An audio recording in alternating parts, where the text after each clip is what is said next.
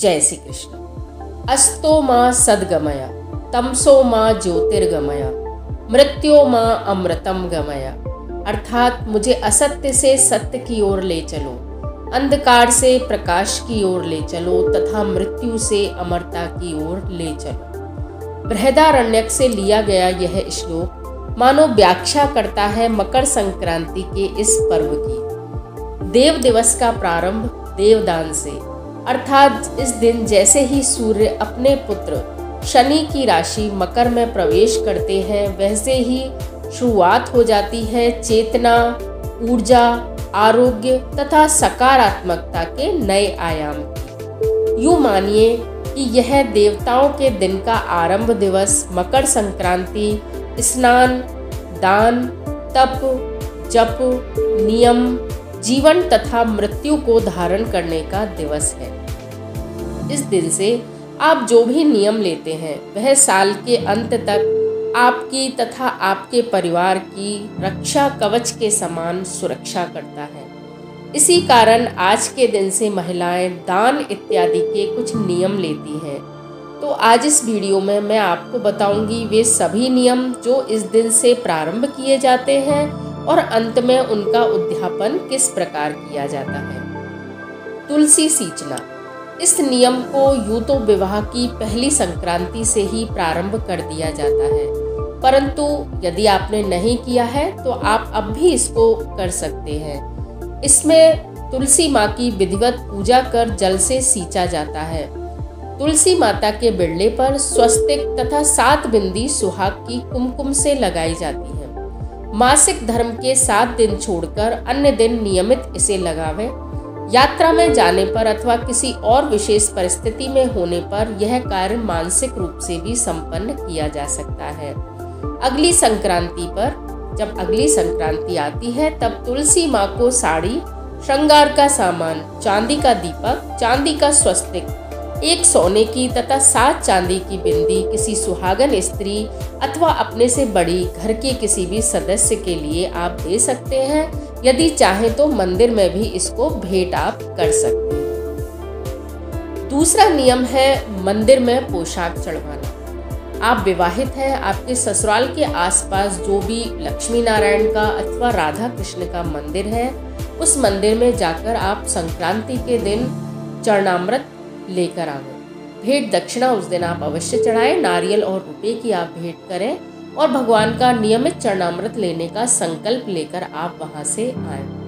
यदि आप चाहें तो एक बर्तन में चरणामृत ला भी सकते हैं। यदि आप नित्य दर्शन करने नहीं जा सके तो आप वहाँ से चरणामृत भर के लाएँ और उसमें कुछ चावल के दाने अथवा चने की दाल के दाने डाल दें। प्रतिदिन भोजन से पूर्व उस चावल के या दाल के दानों में से एक दाना उठाकर आप ले लेवें और वर्ष के अंत में, अर्थात अगली संक्रांति पर मंदिर में गाने बजाने के साथ यदि आप जा सके तो बेहतर है, अथवा फल, मिठाई, मेवे, मिष्ठान इत्यादि लेकर भगवान की पोशाक चढ़ाएँ, जो भी आप भेंट मंदिर में करना चाहें, अच्छे से अच्छे आपकी सामर्थ्य के अनुसार आप कालीन दे सकते हैं, पर्दे दे सकते हैं, साथ ही पुजारी एवं पुजारन को भी भेंट अवश्य दें।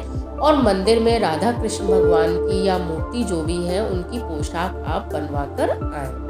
अगला नियम चरणामृत लेना। इसमें सास, ससुर, जेठ, जेठानी, ननद, ननदोई, नाना ससुर, नानी सास।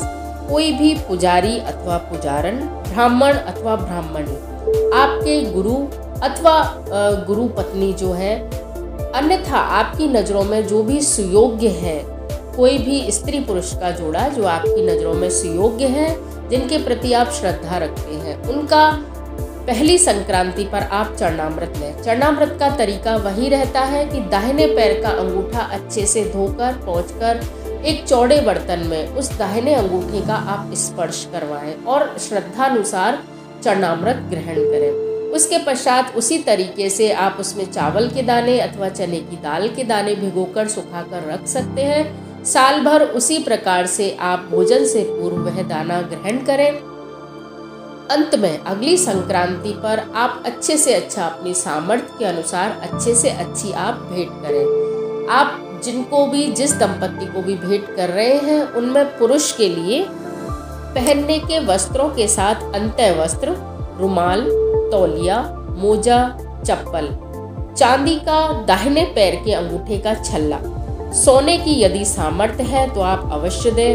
पीतल, तांबा, कांसे इत्यादि किसी भी शुभ धातु का कटोरा भी अवश्य ही भेंट में दें। जो स्त्री हैं, उनके लिए आप साड़ी, ब्लाउज, पेटीकोट अथवा जो भी वस्त्र वह धारण करती है, वह उसके साथ श्रृंगार का पूरा सामान, चूड़ा, शॉल, चप्पल, चांदी के बिछुए अवश्य दें। तथा भोजन हेतु पाँच बर्तन और चौदह तिलवा भी उनके लिए उसमें रखकर अवश्य दें। अगला नियम आता है गाय भाईली बनाना। अर्थात गाय को अपनी सहेली बनाना नित्य स्वयं के भोजन करने से पूर्व गाय को दो रोटी अच्छे से घी में लगाकर थोड़ा गुड़ रखकर खिलाएँ। अंत में, जो अगली संक्रांति है, गाय को सुहागन स्त्री के समान ही साड़ी, श्रृंगार का सामान, चांदी के खुर, सोने के सींग, जो कि प्रतीकात्मक बनाए जाते हैं, जल पिलाने हेतु बाल्टी इत्यादि कोई गहरा बर्तन, चारे हेतु कोई ऐसा बर्तन जिसे परात इत्यादि कोई बर्तन आप ले सकते हैं। गले की घंटी तथा गोपालक को वस्त्र सहित भेंट दक्षिणा आप देकर आए। यदि हो सके तो साल भर के लिए चारे का और पानी का भी इंतज़ाम आप करके आए। अगला नियम है चिड़िया को चुग्गा देना। किसी मंदिर पर अथवा अपने घर में ही नित्य दो मुट्ठी सप्त धान आप चिड़ियों के निमित्त डालें। अंत में अगली संक्रांति पर चांदी की चिड़िया बनाकर तथा थोड़ा अनाज, सप्त धान, सवा किलो अथवा सवा पाँच किलो अथवा ज़्यादा की भेंट देने की आपकी सामर्थ्य है तो चांदी की चिड़िया उसमें रखकर और किसी मंदिर पर अथवा किसी सुयोग्य व्यक्ति को आप दान करें। अगला नियम है मौन धारण करने का नियम। मौन पर मेरा पिछला वीडियो भी है, आप उसको देख सकते हैं। यदि आपको विधिवत देखना है तो आप कृष्ण चक्षु चैनल के उसमें जाके, वीडियो पर जाकर और आप चैनल पे जाके और आप देख सकते हैं मौन लेने की संपूर्ण विधि। संध्या समय 24 मिनट का मौन रखें। अंत में भगवान के मंदिर में झालर, घंटा या कोई भी वाद्य यंत्र का आप दान करें। एक संक्रांति पर आप मौन धारण करने का संकल्प लें। अगली संक्रांति पर आप भगवान के मंदिर में काम आने वाला किसी भी प्रकार का वाद्य यंत्र दान कर सकते हैं। नित्य दान। रोज कुछ ना कुछ दान देना। उस दान में आप एक रुपये से लेकर विभिन्न प्रकार की अच्छी से अच्छी भेंट आप दे सकते हैं। इसमें कोई निश्चित नहीं होता है कि आपको अन्न का ही दान करना है, फल का ही दान करना है। जो भी आपको याद आता जाए, दिन के अनुसार, बार के अनुसार, जो भी आपको अच्छा लगे उस प्रकार से आप दान करें। इसमें अंत में संक्रांति के दिन तांबे के लोटे में तिल के भीतर सोना, चांदी अथवा रुपए, कुछ भी गुप्त रूप से छुपाकर आप किसी मंदिर में दान कर सकते हैं। इसको नित्य दान की श्रेणी में लिया गया है। इस दान का फ़ायदा यह है कि हमें किसी भी प्रकार सोचने की आवश्यकता नहीं होती है। यदि किसी दिन आप भूल जाते हैं तो आप अपनी जेब से निकाल कर रुपये कहीं भी किसी मंदिर में, किसी योग्य पात्र को आप दे सकते हैं। आप रास्ते में जा रहे हैं, फल खरीद कर दे सकते हैं, किसी भी प्रकार आप इसका नित्य दान का संकल्प अपना पूरा कर सकते हैं। इसी प्रकार का अगला जो दान आता है, वह आता है सौ शेर। एक साल में, संक्रांति से संक्रांति तक हमें सौ वस्तुओं, विभिन्न प्रकार की वस्तुओं का दान करना होता है। इसमें आप विभिन्न प्रकार की सब्ज़ियाँ, फल दालें अनाज मेवे मिठाई वस्त्र और भी जो भी संसार में या आपके काम में आने वाली जो वस्तुएँ हैं जो सात्विक चीज़ें हैं उनका दान आप कर सकते हैं। संक्रांति अगली संक्रांति आने पर चावल में चांदी तथा चने की दाल में सोना रखकर किसी भी योग्य पात्र के लिए आप इसको दान करके सौ सेरी का समापन कर सकते हैं। इसका फ़ायदा ये है कि जो भी चीज़ें हम काम में लेते हैं, उन सभी चीज़ों का दान लगभग इस दान के माध्यम से हो जाता है। इसी प्रकार जो अगला दान आता है, वह आता है पाँच शेर का। पाँच शेर का दान प्रत्येक महीने की संक्रांति को दिया जाता है। इस महीने की संक्रांति को पाँच किसी प्रकार की चीज़ आपने दान में दी। अगली संक्रांति को कोई दूसरे प्रकार की चीज़, जैसे इस बार आपने पाँच किलो गेहूँ या गुड़ दिया, अगली बार आप नमक दे सकते हैं, उससे अगली बार आप हल्दी दे सकते हैं। इसमें जो चीज़ की मात्रा है, वह पाँच किलो रहती है। अंत की संक्रांति पर आप पाँच किलो को सवा पाँच किलो में बदल कर और दान मंदिर पर किसी भी स्थान पर भेंट दक्षिणा सहित कर सकते हैं। अगला नियम आता है मांग भरवाना। प्रत्येक महीने की संक्रांति को बाल धोकर किसी सुहागन स्त्री से मांग भरवाएँ। उसे एक कटोरे में खिचड़ी तथा सुहाग का सामान रखकर दें। अंतिम संक्रांति पर आप साड़ी व श्रृंगार का संपूर्ण सामान देकर इसको पूर्ण कर सकते हैं। इसी प्रकार चोटी गुथवाना भी होता है। इसमें आप प्रत्येक महीने की संक्रांति को किसी सुहागन स्त्री से अपनी चोटी गुथवाएँ। अंत में उसको कांच, कंगा, वही भेंट, दक्षिणा, साड़ी, ब्लाउज, सुहाग का संपूर्ण सामान दे सकते हैं। इसी प्रकार इसी क्रम में अपने सुहाग को अटल बनाने के लिए अखंड सौभाग्य की कामना से महिलाएँ मेहंदी लगवाने का नियम भी लेती हैं। इसमें किसी कवारी कन्या से अथवा सुहागन स्त्री से अपने हाथ पर मेहंदी मड़वाई जाती है। वह मेहंदी वर्ष भर अपने हाथ पर रखी जाती है, अर्थात जैसे ही मेहंदी मिटने लगे पुनः मेहंदी लगवा लें, फिर मेहंदी मिटने लगे पुनः मेहंदी लगवा लें। इसी प्रकार से वर्ष भर तक मेहंदी स्त्रियाँ अपने हाथों में धारण करती हैं। अंत में भेंट, दक्षिणा, वस्त्र इत्यादि के साथ इसमें सोने की अंगूठी देने का विधान है। यदि सामर्थ्य नहीं है, आप चांदी की अंगूठी भी भेंट में दे सकते हैं। इस प्रकार इसकी संपूर्णता होती है।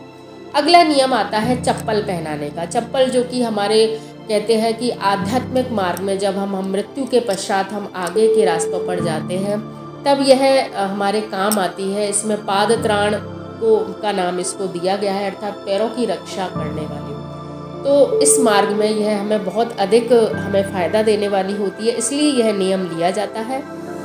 प्रत्येक संक्रांति को अथवा चौदह जोड़ा चप्पल आप किसी भी प्रकार से दे सकते हैं, संक्रांति को दे तो बेहतर रहता है। अंत में किसी मंदिर में, इसके उद्यापन में किसी मंदिर में आप चांदी की अथवा लकड़ी की खटाऊ वस्त्र और दक्षिणा सहित आप किसी ब्राह्मण को दें, किसी योग्य पात्र को दें अथवा किसी मंदिर में आप चढ़ा सकते हैं। अगला नियम कंवारी कन्या के पाँव पूजने का आता है। आप नित्य का नियम ले सकते हैं अथवा प्रत्येक महीने की संक्रांति को किसी कंवारी कन्या को, छोटी बालिका को जिस प्रकार हम कन्या पूजन में करते हैं, अपने घर बुलाकर दो से और बारह वर्ष तक की कन्या को अपने घर बुलाकर विधिवत उसकी पूजा करें, उसके पैर पूजें, उसको भोजन करवाएँ और उसको कुछ दक्षिणा देकर विदा करें। अंत की संक्रांति पर आप उसको पूर्ण पोशाक जो भी आप दे सकते हैं, अच्छे से अच्छी अपनी सामर्थ्य अनुसार उसको पूर्ण पोशाक भेंट करें। यह कन्या पूजन की तरह होता है। साल वर्ष भर कन्या पूजन करने से माता आप पर प्रसन्न होती है। अगला नियम आता है अतिथि भोजन। इसे सामी रोटी के नाम से भी कहा जाता है। इसमें हाथ में एक व्यक्ति का भोजन लेकर घर से निकले। जो भी योग पात्र सर्वप्रथम मिले और यदि वह भोजन लेने के लिए तैयार हो, क्योंकि यह समय ऐसा है कि इस समय हर कोई भोजन लेता नहीं है तो अगर कोई भोजन न ले तो मंदिर पे आप उस भोजन को देकर आए। अंत में, जब अगली संक्रांति पर विभिन्न पकवान, या तो तांबे के पात्र में अथवा पीतल के बर्तन में सजाकर भेंट, दक्षिणा, वस्त्र इत्यादि सहित किसी योग्य दंपत्ति को अथवा मंदिर में दान करें। इसी प्रकार होता है द्वार दिया। संक्रांति के दिन से यह प्रारंभ किया जाता है एक वर्ष तक प्रातःकाल और सायकाल, अथवा दोनों समय की संध्याओं में, अथवा केवल सायकाल की संध्या में अपने दरवाजे पर, घर के जो मुख्य दरवाज़ा है, उसके दाहिने ओर आप दीपक लगाएँ।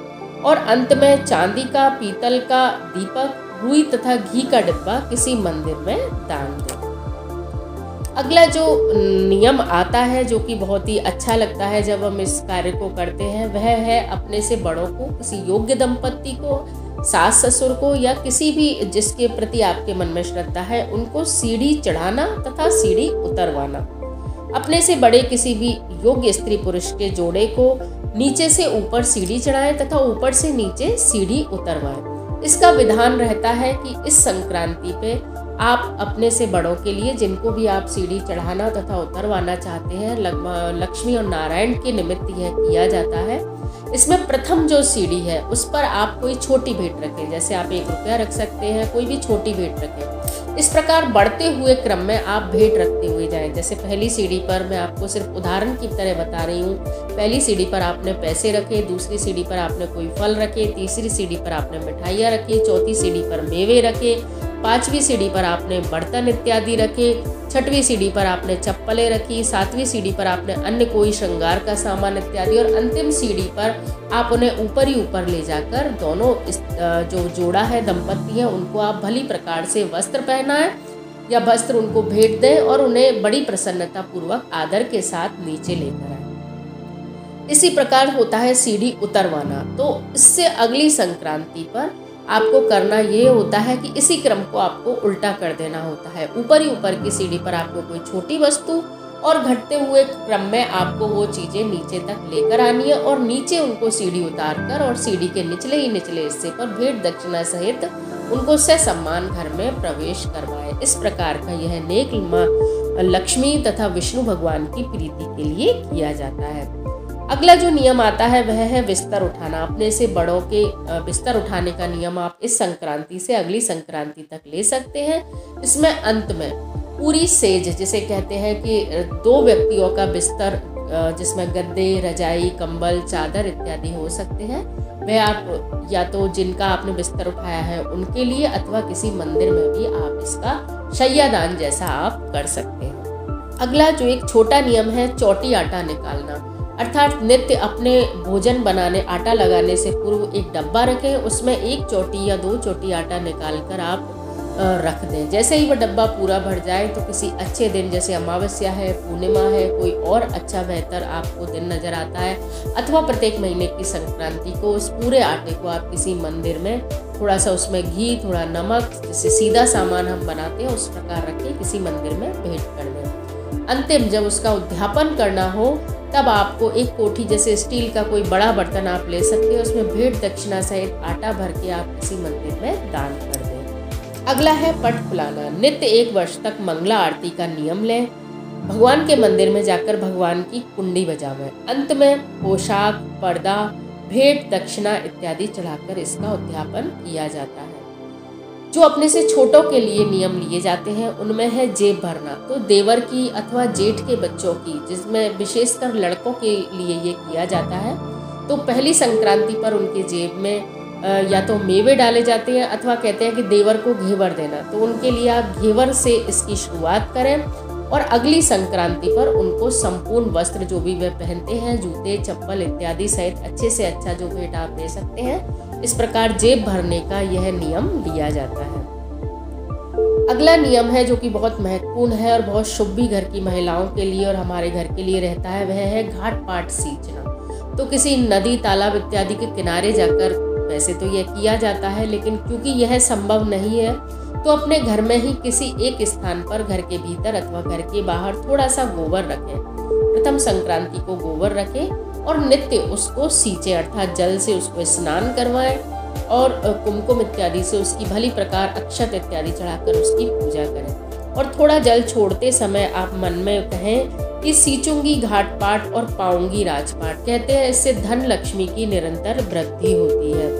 उद्यापन में अंत में आप साड़ी, ब्लाउज, चांदी के लोटे में तिल, मेवा इत्यादि भरकर किसी मंदिर में अथवा किसी योग्य दंपत्ति को भेंट दें अंत में जो मैं आपको बताती हूँ, वह बहुत ही महत्वपूर्ण है सूरज पूजा जो प्रत्येक स्त्री को करनी चाहिए।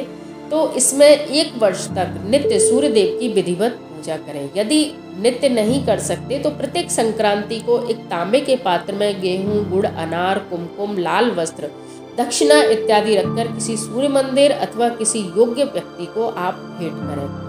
अंत में अगली संक्रांति पर सोने का सूर्य बनवाए, तांबे के पात्र में तिल के भीतर उसको रखकर और दान में दे दे। इस प्रकार ये सूरज पूजा का नियम लिया जाता है। इसी प्रकार से महतर तथा महतरानी को भी पहनाया जाता है। अब सर्वप्रथम अपने मायके की, उसके पश्चात ससुराल की तथा ननिहाल की एवं चौथे स्थान पर रास्ते की जो सार्वजनिक स्थान को साफ़ करती हो, उन मेहतर एवं महतरानी को आपको पहनाना होता है। उनको विधिवत इस संक्रांति पर उनको भेंट दिया जाता है और उनसे कहा जाता है कि आप हमारा इस बार पियर का रास्ता झाड़ना, अगली बार ससुराल का रास्ता झाड़ना, फिर ननिहाल वाली मेहतरानी को रास्ता झाड़ने के लिए कहना, तथा सार्वजनिक जो चौराहे को या किसी मंदिर के आगे झाड़ती हूँ उस स्थान की जो मेहतर और मेहतरानी है, उनको आप भेंट दक्षिणा कहकर उनसे सालवर जड़वाएँ अंत में आप उनको संपूर्ण सामान जो मैंने पूर्व में बताया, वह तो दे ही, साथ में ही उनको घर बुलाकर उनको विधिवत भोजन करवाएँ, बैठने के लिए उनको आसन दें, जिसे वे अपने साथ ही लेकर जाएँ। चांदी के झाड़ू तथा ढकोले जो कि प्रतीकात्मक बनाए जाते हैं, वह भी उनको भेंट में दें। जिन बर्तनों में वो भोजन करें, उन बर्तनों को भी उन्हीं को भेंट में दे दें। सम्मान पूर्वक उनके लिए घर में बुलाकर भोजन करवाएँ, रास्ता झड़वाएँ। यह बहुत ही शुभ होता है माँ लक्ष्मी की प्रसन्नता के लिए तथा अपने ही लोक तथा परलोक को सुधारने के लिए यह होता है। इसी प्रकार धोबी धोबन को भी घर बुलाकर विधिवत उनको भोजन करवाया जाता है और विभिन्न प्रकार की चीज़ें उनको भेंट में दी जाती हैं। विशेषकर चांदी की अंगूठी धोबी एवं धोबिन को देने का विधान इसमें रहता है। इन सब के अलावा कुछ छोटे छोटे नियम भी हैं, जैसे भोजन से पूर्व में अपने इष्ट देव का नाम लेकर ही मुख में कुछ ग्रहण करना कंगन बांधना, राम राम बोलना, किसी एक चाय का कप अथवा एक दूध का गिलास किसी को प्रतिदिन पिलाना और अंत में जिस प्रकार मैंने आपको बताया, किसी भी प्रकार वस्त्र, भेंट, दक्षिणा इत्यादि देकर उसका समापन करना। इस प्रकार ये दान के छोटे छोटे नियम हैं जो हमारे भारतीय समाज की परंपरा को जीवंत रखते हैं। धन की जो गति बताई है, दान, भोग व नाश तो दान किया जाए ताकि हमारे धन की शुद्धि हो, हमारे धन का नाश ना हो, हमारा धन अच्छे कार्यों में काम आए और हमारी आध्यात्मिक उन्नति हो। तो इस संक्रांति से इन नियमों में से कोई ना कोई नियम आप अवश्य लें, अवश्य कोई ना कोई नियम धारण करें और अपने जीवन पर उसके सकारात्मक प्रभाव देखें। तो कैसा लगा आपको मेरा ये वीडियो? अगर अच्छा लगा हो तो प्लीज़ लाइक, शेयर और सब्सक्राइब ज़रूर कीजिए। धन्यवाद। जय श्री कृष्ण।